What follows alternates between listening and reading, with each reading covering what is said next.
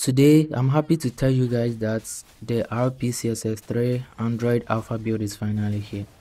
So in today's video, I will explain what this means for the PS3 emulations on Android, walk you through the installation process and also share a quick demo of its current state. Meaning, after today's video, you should be able to install the RPCS3 Android emulator and play your favorite PS3 games on your Android device. So without much ado, let's get started.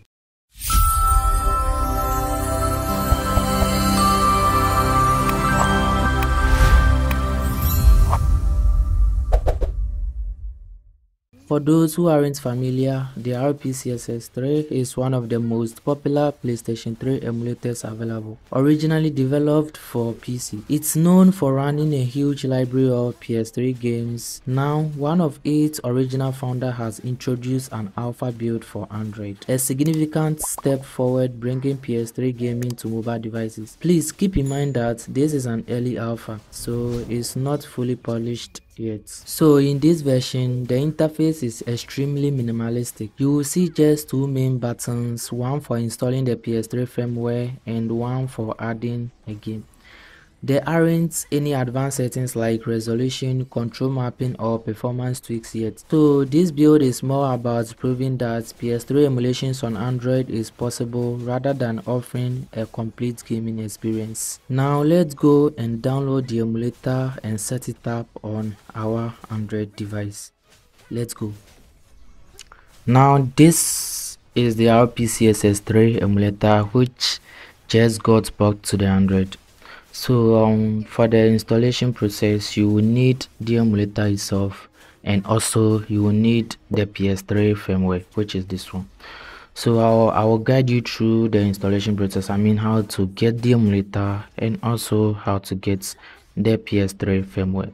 So um i recommend you guys to watch full video. Don't skip any part of this video so let's go on.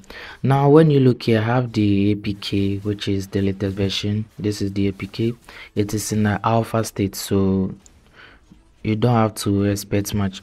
So um to download the apk there is going to be a link under this video description for the apk so copy the link and then open your browser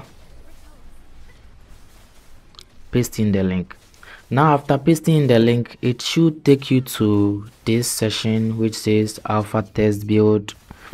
So um, this is the emulator. At the moment it's only available on the android devices. So um, this is the emulator. Go ahead and download the emulator. I've already downloaded the emulator which is this one. So i'll go ahead and install it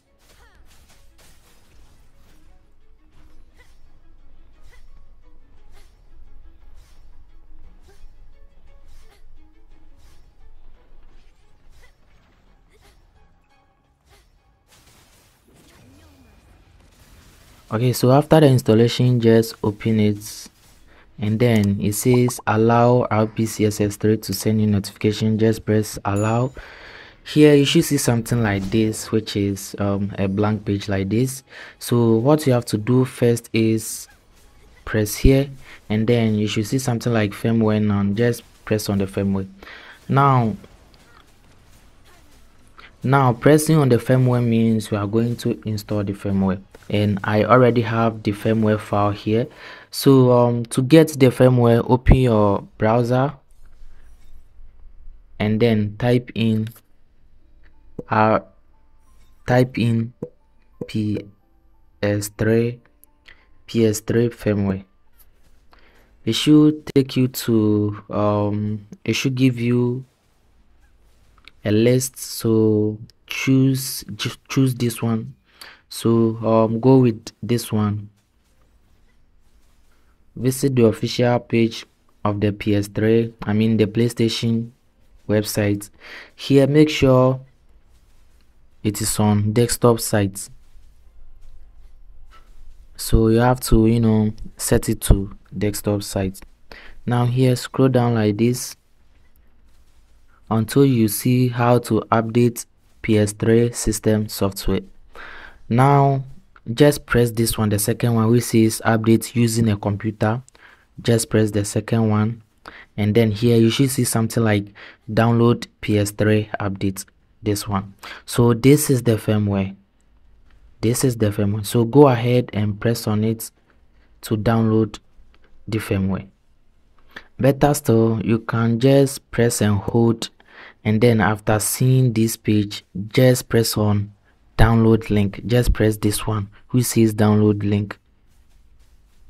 And then you should see this part which says do you want to download? Just press on download. I've already downloaded the app so there's no need for me to you know and download it again.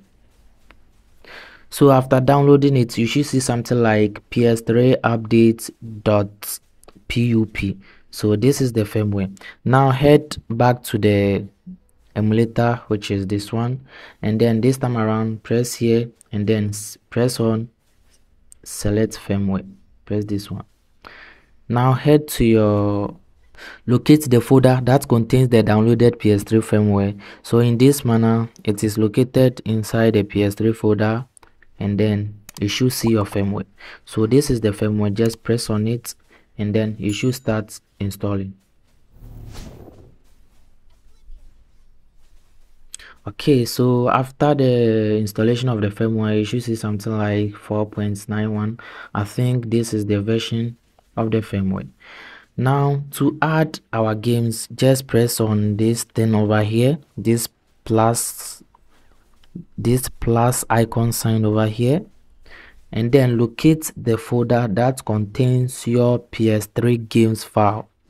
Listen locate the folder that contains your PS3 games file or locate your PS3 games file.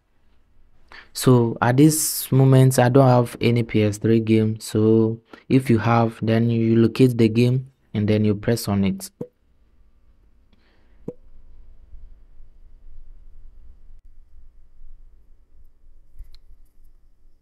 So so my final thoughts on this is that the RPCS3 Android Alpha build is an exciting glimpse into the future of PS3 emulation on mobile devices. Even though it's very basic right now, it's a huge milestone coming from one of the original developers. So I would love to hear your thoughts if you try it out. Drop a comment below with your experience or question. If you enjoyed this video, please like, subscribe and hit the notification bell for more updates on emulation and tech breakthrough. I will leave a link in the description for future details and community forums where you can follow the project's progress. See you next time.